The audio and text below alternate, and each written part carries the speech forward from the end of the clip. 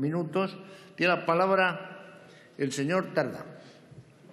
Gràcies, senyor president. Eh, senyors i senyores diputats, llegiré l'article 3.1 de la Constitució espanyola. Diu el castellà és la llengua espanyola oficial de l'Estat.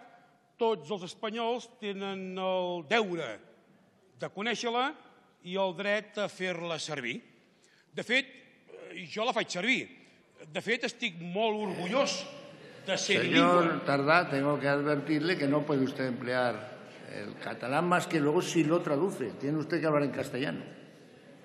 Sí. eh, Pues que un curt. No, no, tiene usted que hablar en castellano y le llamo al orden por primera vez. Debe usted emplear el castellano. Es eh, la norma y no puede emplearse Bueno, otra. doncs eh, ja està tot dit. Eh, ja està Despídase. tot dit, ja està tot dit, senyora Díez. Eh, per- per cert, m'acomiado del senyor, eh, del senyor Lavarria. Eh, Emilio, eh, ore bat izan da, zure laguna izate. Para que todos le entendamos. Salut, Olavarria, salut.